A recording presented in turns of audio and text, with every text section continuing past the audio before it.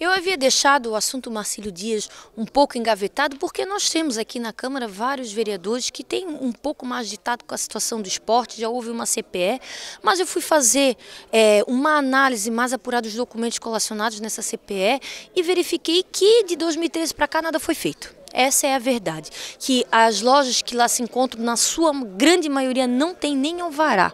Então, há uma, uma dúvida que está sendo questionada na Justiça, isso é o Ministério Público está fazendo, não foi por encaminhamento meu, isso já tem alguns anos lá, para ver se essa responsabilidade do Estado é do município ou mesmo do Estado. Se for do município, também é do município os aluguéis. Se for do Estado, ele tem que fazer isso. Porém, alvará todos eles têm que ter. E se não tem, não tem porquê. Nós gostaríamos de saber, para começar a regularizar a casa, o Marcílio Dias agora está sobre uma nova direção.